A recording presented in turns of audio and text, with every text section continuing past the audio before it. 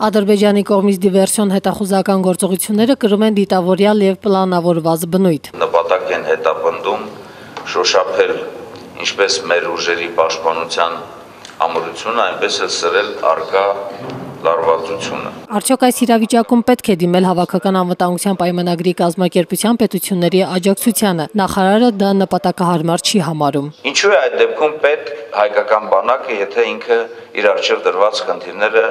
այս փոքր սրացումների դեպքում չի կարող իրականացնել։ Սեյրան Օհանյանը կարծում է, որ հաջողությունների նախապայմանը վստահության մեխանիզմների ձևավորումն է, որը պետք է արտահայտվի առաջին գծում։ Հետաքննական մեխանիզմների ձևավորումն է, որ հստակ կորոշի թե որ կողմն է խախտում իրականացրել, որ เป զի դատապարտում լինի այն կողմին, որը որ խախտումը խախտումը իրականացրել է։ Եթե դա չկա, հորդորը երկու կողմերին է, ապա միակ զսպման մեխանիզմը այսօր հակառակորդի կողմից տարբեր ոտնձգությունների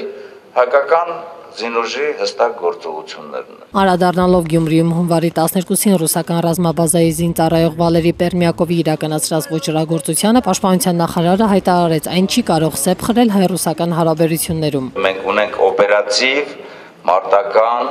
պլանավորում եւ այդ պլանավորման համաձայն բավականին բարձր մակարդակի զորավարժություններ են անցկացում եւ ցույց են տալիս մեր պատրաստականությունը համատեղ ապահովելու Հայաստանի Հանրապետության անվտանգության խնդիրը։ Նա նաև կոչ արեց հանգիստ թողնել հայ եւ ռուս իրավապահներին հանցագործությունը մանրամասն հետաքննելու եւ ուսումնասիրելու համար։